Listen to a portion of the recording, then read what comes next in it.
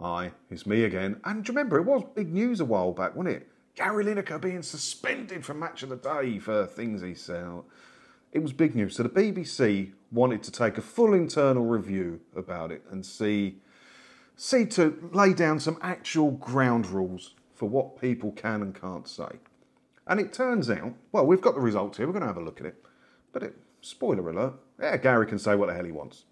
That's that's basically the outcome of that.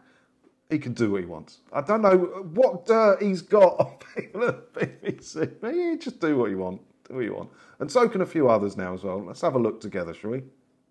The BBC has published revised guidance on the personal use of social media for everyone working at the BBC, including emphasising that hosts of flagship shows cannot endorse nor attack political parties or campaign by proxy by posting frequently on a range of issues that resemble one party's manifesto and present sustained criticism to a government or opposition policy agenda.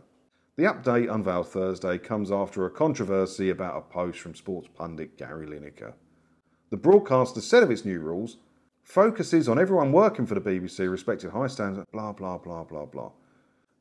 What it says, I've skimmed it a bit, hold on. The report highlighted that there are no examples of broadcasters we have found demanding an explicit prohibition on taking sides on party political issues or political controversies. They've looked at everything and said, yeah, there's no problems there. So they can do what they want. They can do what they want.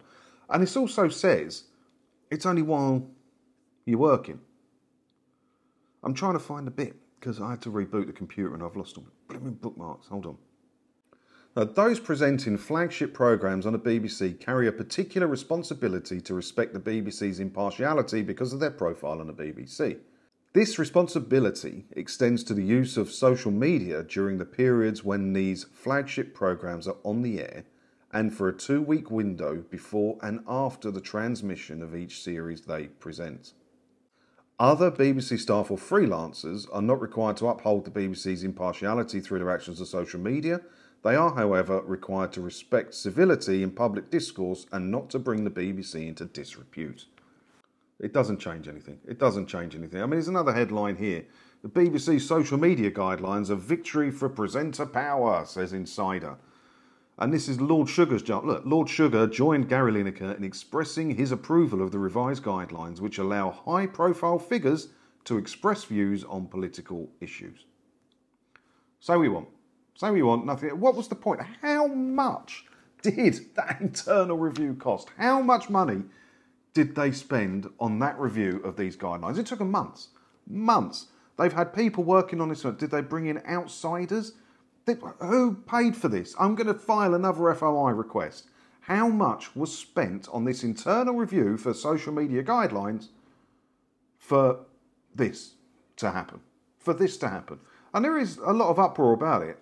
I mean, I don't particularly care for her, but Carole Malone had this in the Express. Look, we pay Lineker's wages, so we get to tell him to shut his mouth, says Carole Malone. She goes off on a much more eloquent rant than I'm capable of doing. How much was spent on this internal review for nothing to happen? Gary Lineker is above the law at the BBC, and he's not even a BBC employee. His company is contracted to the BBC, and his company employ him to do a job. That's it. He's not a BBC employee. None of it would have affected him. Nothing's going to change. So, what was the point of spending all that money on an internal review? BBC? I mean, I'll be honest with you, I'm quite busy today, so I haven't had the time to read. Oh, like this Carole Malone one goes on for ages. I'll put the links to these three articles that I'm talking about down in the description if you want to go and read them and then shoot me to bits about me being wrong, which is possible. It's not going to be the first time or the last, will it? But um, yeah, I wonder how much they spent on it. That's that's my main point of contention here. Let me know your thoughts on it down in the comments below. And as always, thanks for watching. Hit the buttons below, and I'll see you in the next one, whenever that'll be. Ta-da.